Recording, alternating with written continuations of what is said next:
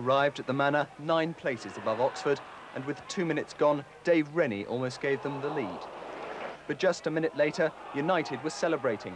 Mark Stein outpaced the Bristol defence, leaving Paul Simpson to stab the ball home. The crowd had barely settled down before United's Lee Nogan went clear on the right. His cross found Martin Foyle, and Oxford were two up with only seven minutes gone. City began to fight back, Wayne Allison going close. Bristol kept up the pressure, and right on half-time, former United player Gary Shelton shot past Paul Kee to give City a well-deserved goal.